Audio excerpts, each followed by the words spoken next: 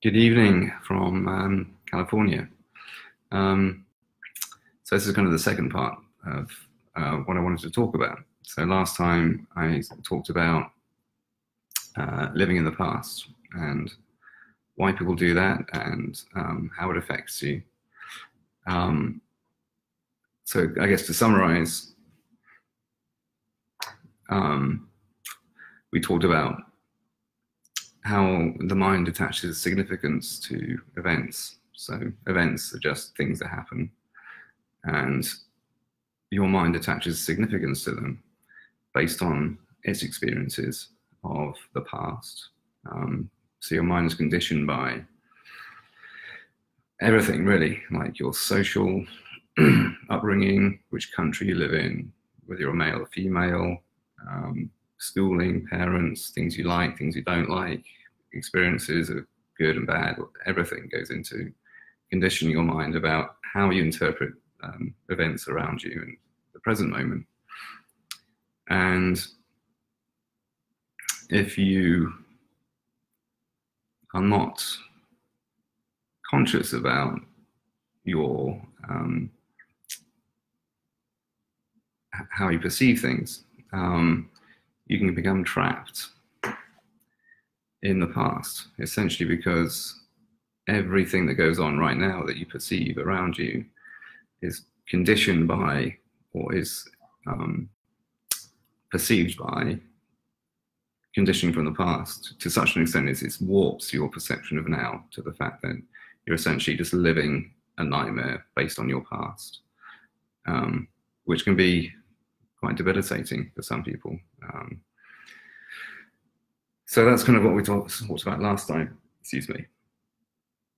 Um, and I got some great comments. So some people um, reached out to me directly, uh, which was great. So thank you. Um, appreciate that.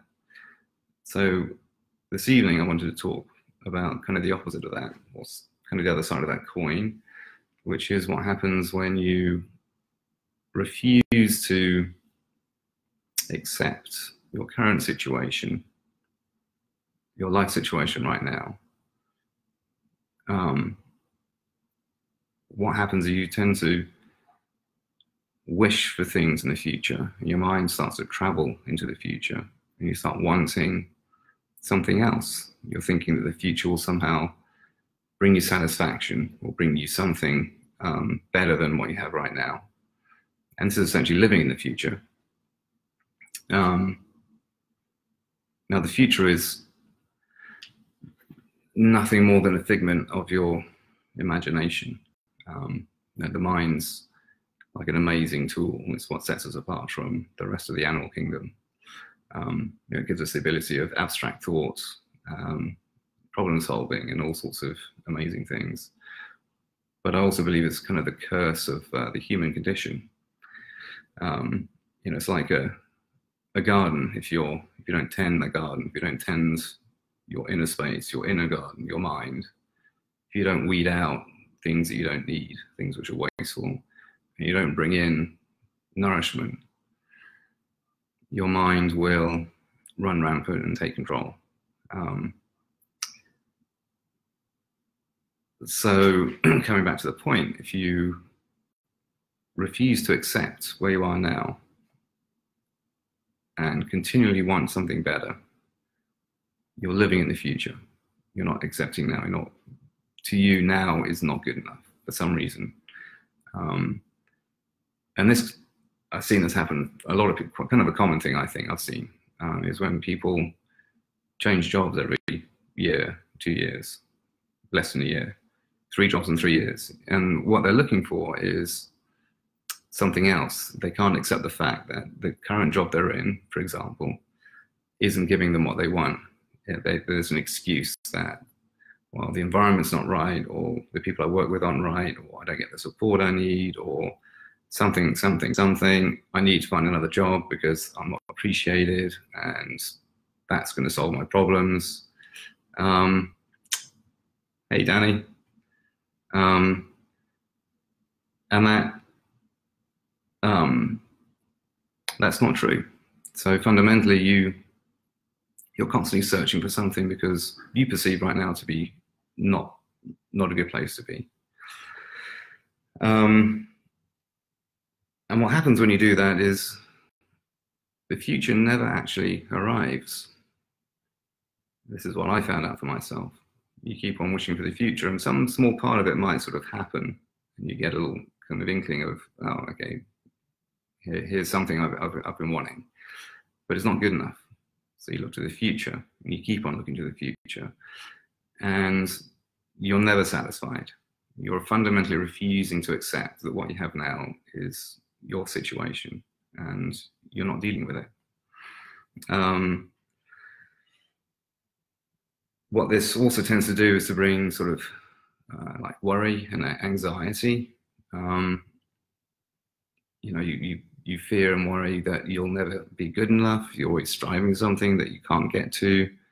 Um, this is the sort of thing that keeps you awake at night. Um, and it's all, well, to some people, it's completely, um, it dominates their lives to the point that they really can't operate. They can't make decisions. They can't see the good in their life. They can't see the abundance they have around them. Um, they're so completely clouded by this idea that where they are right now is fundamentally not good or not good enough. Um, and if, if you have this, um, and it's really quite common, um, you know, reach out, get in touch, because this is something I, I can help you work through. Um, now, something else which kind of related to this um, is people fundamentally believing they don't have a purpose, or they'll say, I haven't got a purpose, or I don't know what my, my purpose is.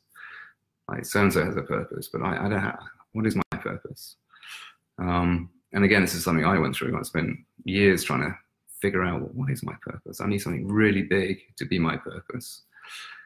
Uh, and that's that's again a, a kind of a twist on the same sort of thing here. You're you're fundamentally believing that where you are right now is not good enough, that your purpose isn't big enough. Um, our purpose.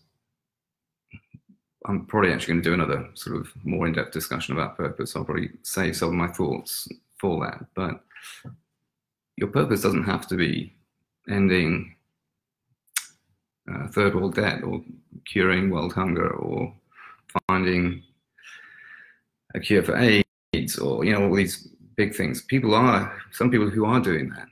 It is their purpose, but they're not. They're not. They haven't. They've accepted where they are and they're moving forward because they have like this guiding light to take them in a certain direction. The purpose right now I fundamentally believe that a purpose really is to serve others. I think most, well, I think all humans, if you're of sane mind, have the same purpose, which is to serve others. Um, which means you're probably doing that right now. You're probably doing that right now. You could be a parent, you could be a friend. You know, imagine a casual smile to somebody in the street might be what they need that moment in time to sell, give them um, some sort of salvation from whatever they're going through that could be your purpose, and you don't know it. Um, but like I say, I'm going to come back to more about that in in the next uh, talk that we that I that I come up with.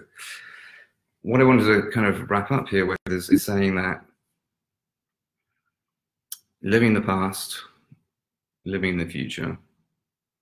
Fundamentally, what the point is is that your relation to this present moment where you are now and how you decide to live this moment, which is where life happens, is a reflection of your relation to life, your relationship to life. How do you how do you approach life? Do you live right now in this moment, or do you perceive right now conditioned on all the stuff in the past, or do you constantly look to the future because you think now it's not good enough? So how, how do you relate to your life right now? And if you find that you I'm not getting the most satisfaction out of what is going on right now, then let me know and we can talk about that. Um, I've got my no that side, that side link up there. So um, check out the website. You can book a call. We can have a conversation about um, about you and about what I can offer. And I look forward to hearing from you. I'll catch you soon. Bye.